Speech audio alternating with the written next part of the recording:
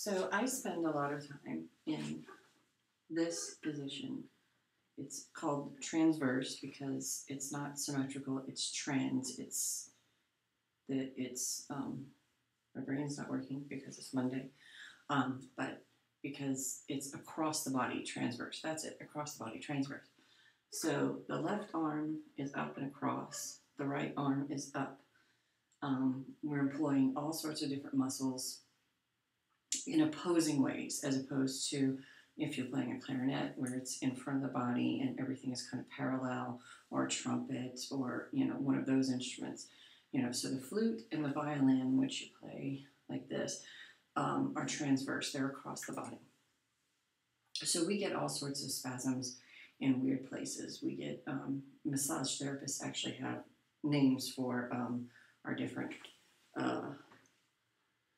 ailments. One of them is the flute knot that's on the uh, rhomboid uh, here below the um, next to the supraspinatus, um, or I'm sorry, below the supraspinatus. The supraspinatus is where I get um, one bad one right there, and then the rhomboid, um, and then the the teres uh, major and minor are really bad on the right side, and then on the left side, just the whole the whole stack here.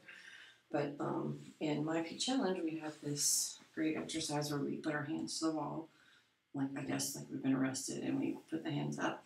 Well, last week I was dying with the rhomboid spasm. I was just dying, and I can't reach it. I mean, it's it's right below my finger, and I keep forgetting to bring the racquetball or the tennis ball so that I can roll it. So I was doing all sorts of things. I was reaching down on the piano bench and stretching it, and I said, let me try some of the My Peak Challenge stuff.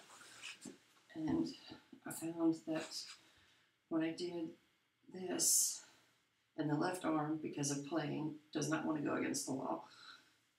But I found get down there doing this stretch really helps all that up in here. So thank you, John. Thank you, Sam. Don't thank you, Theobald Bohm, and all you guys who made the flute a transverse instrument. Because this sucks. Oh my god.